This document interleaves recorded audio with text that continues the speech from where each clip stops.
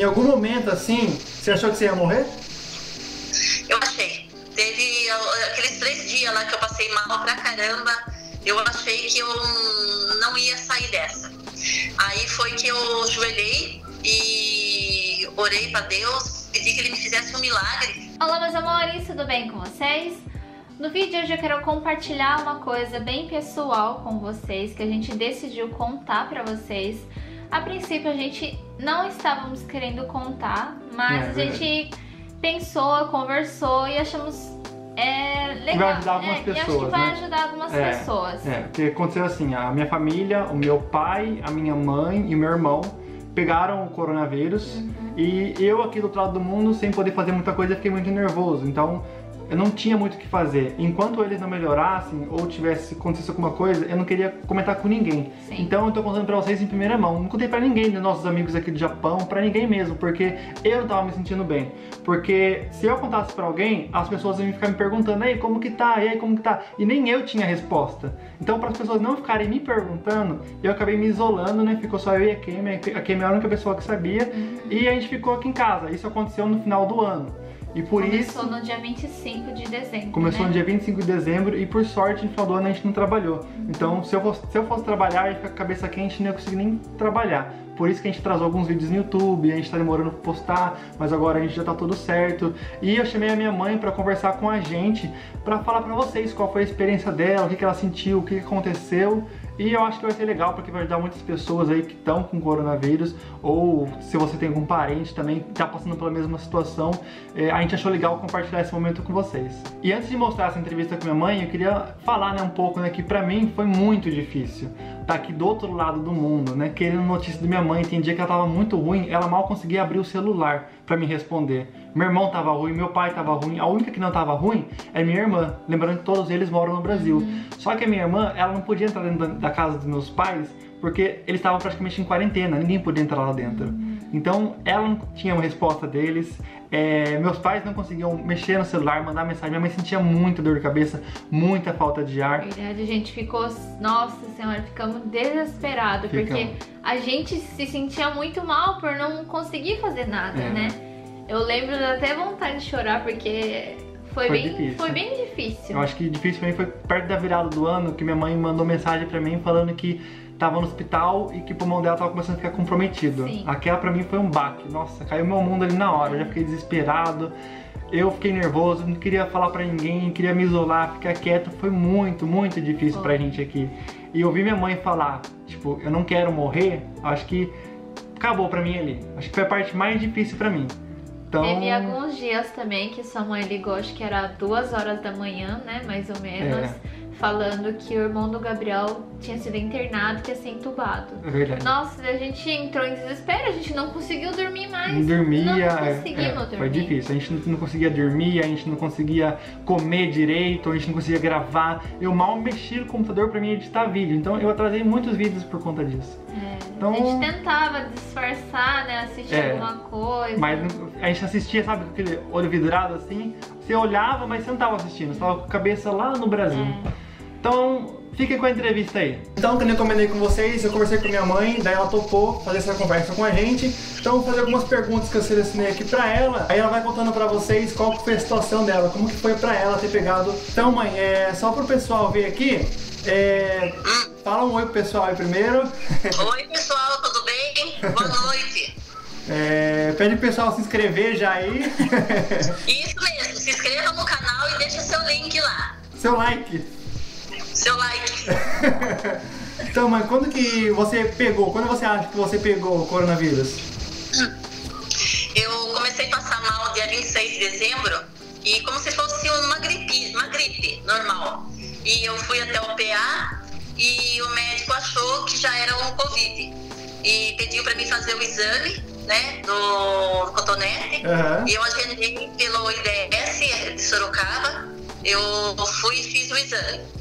É, assim que eu fiz o exame, é, é já deu positivo né, para Covid. E nesse meio tempo, do dia 26 até o dia que ficou pronto o meu exame, que foi dia 30 de, de dezembro, eu comecei a sentir muita dor no corpo, dor atrás do olho, é, falta de ar, cansaço e não conseguia uh, se alimentar. Eu ah. tinha muita falta de ar. Quando você acha que você, assim, você pegou o, o, Covid, qual foi o primeiro sentimento que você teve? Qual foi os, os primeiros sintomas? É muita dor de cabeça e dor atrás do olho. Doía bastante. Doía bastante. Aí depois que você começou a sentir todos esses sintomas aí, você resolveu ir no médico. No sábado, no dia 26 de dezembro, que eu, eu comecei a sentir muita dor de cabeça, atrás do olho, cansaço, eu já procurei o médico. E Fá, que medicamento você tomou? Ajudou bastante? Então, o médico entrou no começo, antes de saber o resultado, ele entrou com azitromicina por cinco dias. Eu tomei azitromicina, depois da, de eu ter tomado azitromicina, para mim não resolveu. No meu caso, não resolveu. Eu voltei lá no PA e fizeram uma tomografia de mim que meu pulmão estava com 25% já é, com, com Covid, uhum. né? Contaminado. Quando você ficou sabendo que estava com 25%, já ficou desesperada já? Ah, eu já fiquei nervosa, né? Porque a minha falta de ar já estava aumentando. E o médico entrou com cloroquina, entrou com mais dois antibióticos e me deu também remédio para dor, né? Que eu tinha muita dor de cabeça. Só que no, no meu caso, para mim, eu, eu acho que a cloroquina, ela me deu enxaqueca e me deu muita, muita ânsia. Eu passei três dias com vômito, não consegui ingerir nem água.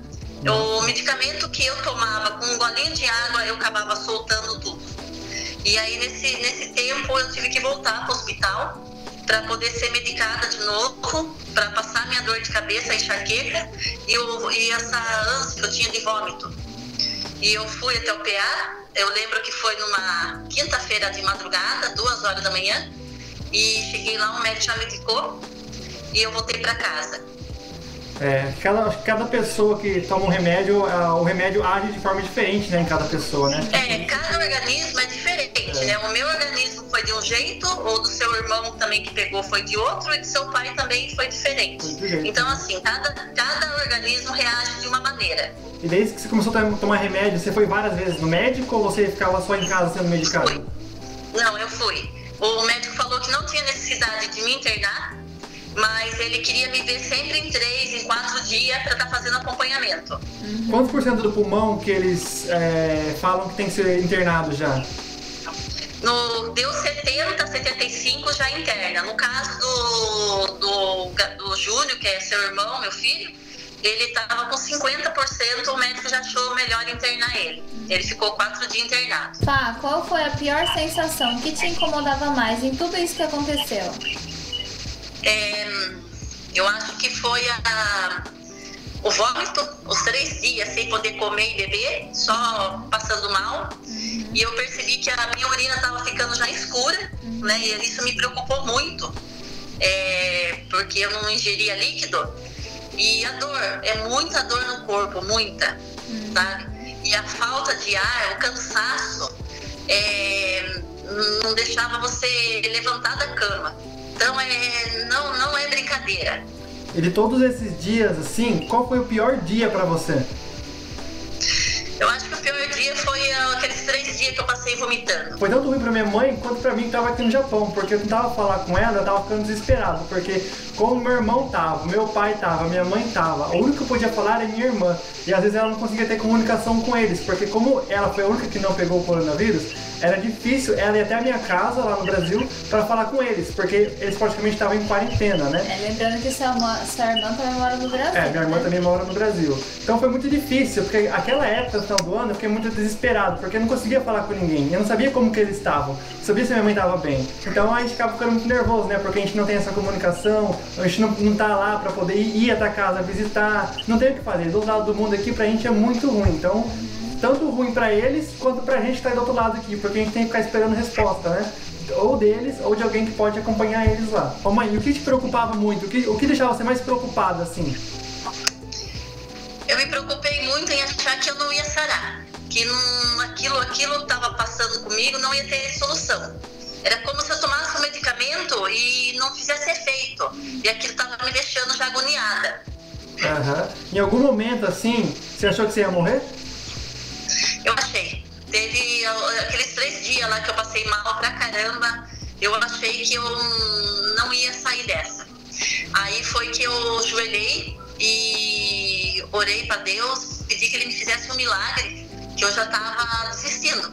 Porque a dor no corpo, a falta de ar era muita. Que dia, que dia Deus que era? entendeu. Que dia que você ficou mais ruim? Foi, foi no. Acho que foi no dia 3 de janeiro. Acho que foi pro dia 3 de janeiro.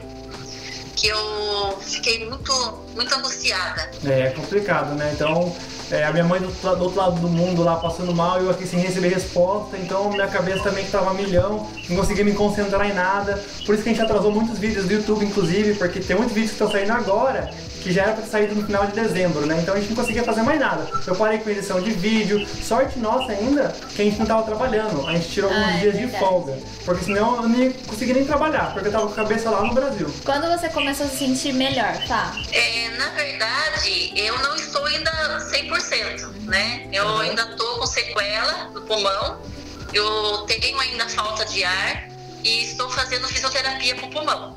Uhum. Então, assim, não estou ainda curada, né? Não estou ainda 100%. Ainda é, vai levar um tempo ainda. E pro seu pulmão, o que você tá fazendo para te ajudar? O médico te recomendou alguma coisa? Você comprou alguma coisa? O aparelho não comprou? Então, por enquanto é fisioterapia e eu vou ter que passar no pneumologista E na para ver o que, que ele vai resolver. Aham. Se ele vai entrar com medicamento ou só fisioterapia. Ah, tá. Na fisioterapia, o que, que você faz lá? É algum exercício? Como que é? É, são exercícios de com barra que a gente levanta, né? E a gente respira fundo e solta devagar. Você tá fazendo pouco tempo. Várias. Faz pouco tempo que você faz, É, né? eu, fiz duas sessões só. Essa semana eu tenho três, três sessões para estar fazendo. E você, assim, que pegou para as pessoas, assim, você tem alguma coisa para dizer para elas, para as pessoas que não pegaram ainda, ou para as pessoas que já pegaram? Tenho. Use máscara, usa o gel, o álcool em gel, se previne, gente. Não é brincadeira. O que aconteceu comigo pode estar acontecendo com vocês também. Cada organismo é diferente. Pode ser que quando vocês pegarem, ou vocês eh, não, não fique tão, tão agressivo como foi comigo. Mas não queiram saber. Então se previnem, usa máscara, evite ficar perto das pessoas. O que vocês puderem fazer para estar prevenindo, façam. Que não é brincadeira, gente. É, porque a minha mãe pegou e para ela foi muito agressivo, ela ficou muito ruim. Já o meu pai não, ele ficou ruim até, ele sentia um pouco de falta de ar, cansaço, mas ele ainda conseguia levantar, fazer as coisas básicas né, da casa para ajudar eles lá. Então, cada pessoa vai, o vírus vai agir de forma diferente. Aí Então, tem o seu irmão também. É, e meu irmão também. Meu irmão no começo ele ficou bom, ele tava bom, né? Não ficou ruim que nem minha mãe, mas de repente, do nada, ele ficou ruim. Ele teve que ser internado, teve que usar até oxigênio, teve um dia que ele precisou usar oxigênio de noite. Então, cada pessoa, o vírus vai agir de forma diferente. E o irmão do Gabriel é novo. E meu irmão é novo. Nada a ver ser É. velho e ser novo, porque o pai do Gabriel não ficou tão ruim que nem o irmão do Gabriel. É, meu pai tem 56 anos, o meu irmão tá com 27, 28 anos. Então, não é porque é novo que não acontece nada. Então tem que se cuidar mesmo. Você tem mais alguma coisa pra falar? Você quer fa- falar algum dia que foi ruim? Algum Não, só mesmo as pessoas se prevenirem, usarem máscara, se cuidarem, que não é brincadeira isso, né? E que, que Deus proteja o Brasil, que Deus proteja o mundo dessa doença, que logo, logo todo mundo se toma uma vacina, né? E acaba tudo isso, né? A gente tem que orar muito para Deus para pedir para que tudo isso acabe logo. É. E é isso, pessoal. Lembrando que esse foi o caso da minha mãe, né? Cada pessoa, o caso é diferente, né? Os remédios que ela tomou pode ser que uma pessoa faça efeito, pra outra- não faça efeito. Então a gente quis mostrar pra vocês o caso dela e mostrar o desespero nosso aqui do Japão e o deles lá no Brasil. Então a gente passou por um momento muito delicado esses dias aí e eu achei interessante e importante compartilhar esse momento com vocês. Isso, filho. Né? Fique com Deus aí, se cuide vocês também. Vocês também. Pede o pessoal se inscrever de novo aí, deixar o like e se cuidar. Isso, gente, se inscreva e deixa um like aí. Comente aí embaixo aí, deixa um comentário pra minha mãe aí dando força aí. E é isso aí, pessoal. A gente vai ficando por aqui. Espero que vocês tenham gostado. Se inscrevam no canal. Então, um grande abraço e tchau. Tchau.